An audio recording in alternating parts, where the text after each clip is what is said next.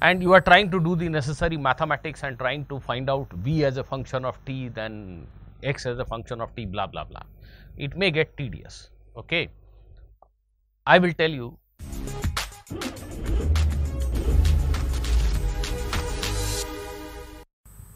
Hello students, today we will solve a question from mechanics in which even if you understand the physical concepts very well, the mathematics part might get very tricky. So, here is the problem.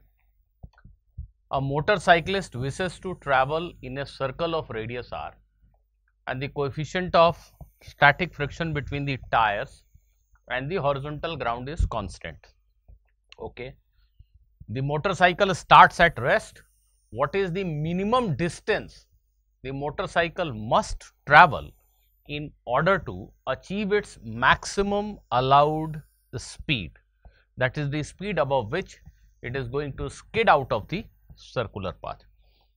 Uh, there is a circle uh, circular track on which you want to ride a motorcycle you start from rest you go on accelerating and of course you all must be knowing that there is a maximum allowed speed beyond which if you try to move you will skid out of the circular track.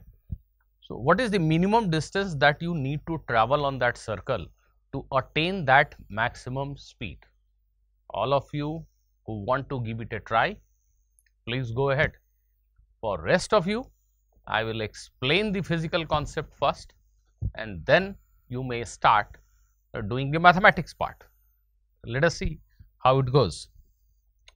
So, this gentleman, this motorcyclist wants to move on a circular track, right. Let us say he starts from this particular point.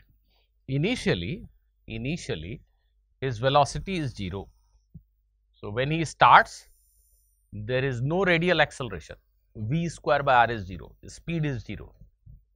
So, the whole of friction, the complete friction force, the maximum friction force uh, which is mu into mg, mu into normal reaction the complete friction force will be acting tangentially.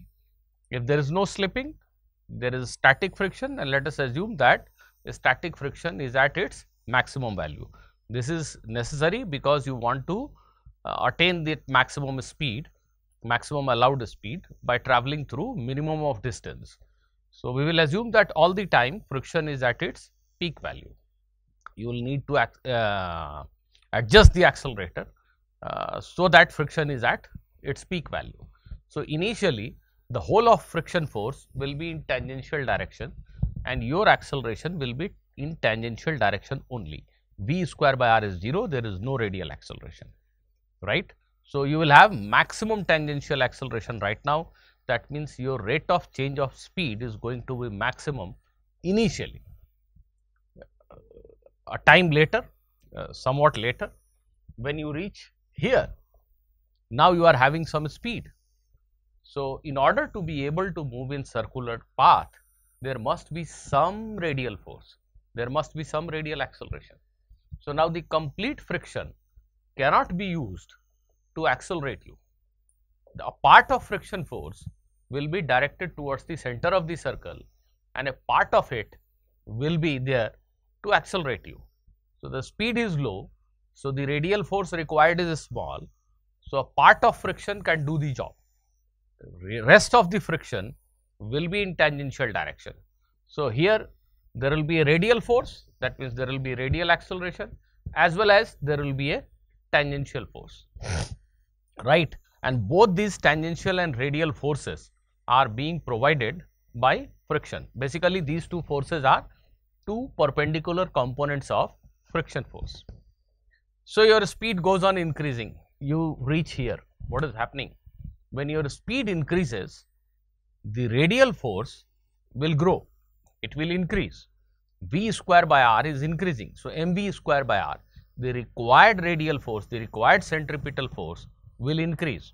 Mind you, friction has got a fixed magnitude mu mg, assuming that it is always at uh, the largest value, it is always at its limiting value. So, the friction force has got fixed magnitude, but now because the speed has increased a larger component of friction force will be in radial direction and the tangential component will become smaller. So, this is what the diagram is showing. Initially the complete friction is tangential. Now, the radial component is there, tangential component is there, friction is somewhere in between here. And uh, some somewhat later on, the radial component will grow, it will increase in size and the tangential component will become smaller. So, this will keep on happening as your speed increases, the tangential friction goes on decreasing and the radial friction, the radial component of friction goes on increasing. So, after some time when you have attained your top speed, top allowed speed, the complete friction force, the complete friction force is in radial direction.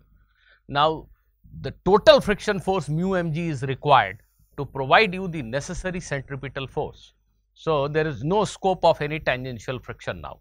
So, there is no tangential acceleration. After this, you can move with this constant speed and the friction force will remain at its peak value so as to provide you the uh, required centripetal force. So, I hope all of you understand what is happening. Initially, the friction is completely in tangential direction. Then friction will have two perpendicular components, one along radial, one along tangential direction. The radial component keeps on growing, growing, growing. Tangential component goes on reducing, reducing, reducing. And finally, when your bike is at its peak speed, the complete friction force is radial and there is no tangential component of the friction force. So, at this instant bike is moving at its top speed. The question asks us to find this minimum distance that the bike must travel in order to attain its peak allowed speed. So, now students the concept part is over. So, if you want to give it a try you can start now or if you are not clear how to set up your equations wait for one more two a couple of more minutes I will explain something more. So, at some intermediate point like here this is the situation this red arrow is the actual friction force which is mu mg and it has got two components along the radial direction and along the tangential direction. Let us assume that let us assume that uh, the angle that the friction force makes with the tangent is phi. You can consider either of these two angle इसको या इसको किसी को भी ले लो. I am assuming that friction force makes an angle phi with the tangential direction, right. So, the component of friction that is along the radius f sine phi, f sine phi, f is mu mg. So, mu mg sine phi will be equal to mv square by r at this instant, right. And the component of friction that is along the tangent that is f cos phi, mu mg cos phi is mass times dv by dt, where dv by dt is rate of change of speed, v is speed. So, using these two equations, you can give it a try. So, still uh, you can pause the video and give it a try. Okay. Uh, the basic thing is some of you must have tried it on your own and you must have got entangled in the cumbersome mathematics the mathematics may become a bit tedious uh, if you uh, make x and t as variable. Like you might be thinking that let us assume that this motorcycle has traveled through a distance x so its speed is dx by dt right? So in place of speed you are writing dx by dt. And you are trying to do the necessary mathematics and trying to find out v as a function of t then x as a function of t blah blah blah. It may get tedious okay I will tell you the shortest path. Many a times uh, setting up of the integration in proper variable uh, makes the mathematics easier and this is one example of uh, such type of cases. So, let us move on. Uh, this is the situation and this is the solution that I have written. Uh, यहाँ से कुछ hint ले सके अब फिर से try कर सकते हो तो कर लो देखो हमने फिर से इंटरमीडिएट सिचुएशन पे रखा है इस मोटरसाइकिल को this is the friction radial component tangential component so now mu M G sign five so sorry mu M G sign five which is the mu mg sine phi which is the radial component of friction force must be equal to mv square by r, no doubt about it.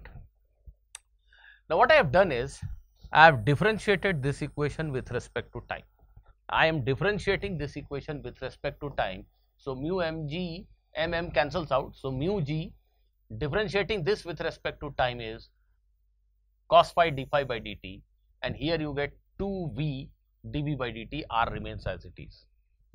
What I am trying to do is I am going to make phi my key variable, the angle phi as my key variable. What I have observed actually is that when the motorcycle is started, the entire friction force is in tangential direction and in the final situation, the friction force is perpendicular to tangential direction. So, this angle phi, this angle phi changes from 0 to pi by 2. Can you see that? The friction force makes an angle phi with tangent. Initially, the friction force is along the tangent. Finally, friction force is perpendicular to tangent. So, this angle phi changes from 0 to pi by 2 and this is what I am going to do. I am going to make phi as my key variable. Uh, I will try to find out distance travelled by the time angle phi changes from 0 to pi by 2. This is the trick.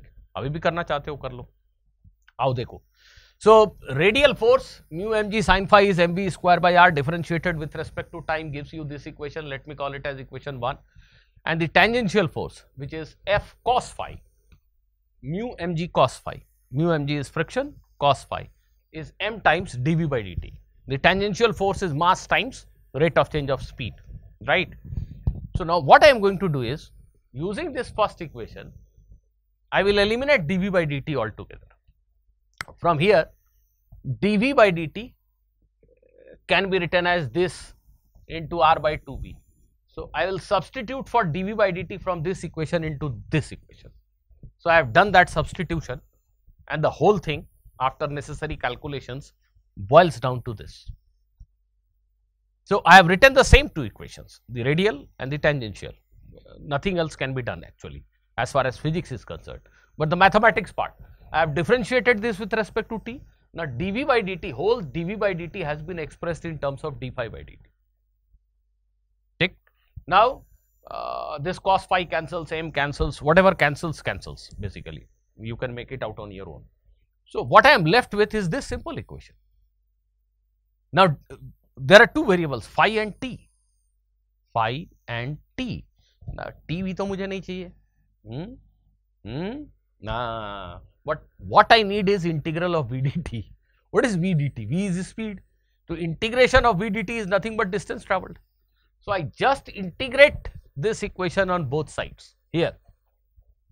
Here I integrate this equation on both sides, this, this last equation on both sides and integral VDT is my required distance. So, I am integrating this for time when phi changes from 0 to 0 to pi by 2. As I have told you earlier that the angle phi changes from 0 to pi by 2 by the time the motorcycle attains its peak top speed. So, this is distance travelled. So, this distance travelled is simply r by 2 into integral of d phi which is pi by 2. So, this distance travelled is pi r by 4, pi r by 4, 4 great. Whatever be the value of coefficient of friction does not matter uh, in order to attain the top speed, the motorcycle must travel through a distance of pi r by 4. अब देख क्या रहे हो video like कर दो थोड़ा share कर दो और खुश हो जाओ कि तुमने ये क्वेश्चन अच्छे से समझ लिया। चलो मिलते हैं अगले वीडियो में फिर किसी नए धमाकेदार कॉन्सेप्ट के साथ। Good bye